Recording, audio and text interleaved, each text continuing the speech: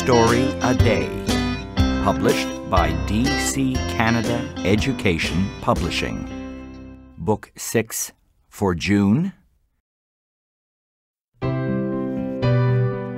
Story 11 A Shiny Penny. My father often tells us how life has changed over time. When he was young, his family had no money.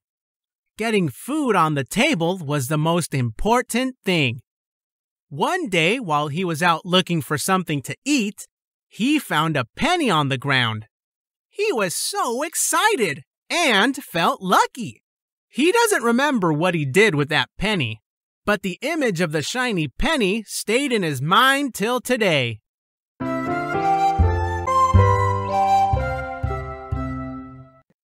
Wow, a penny!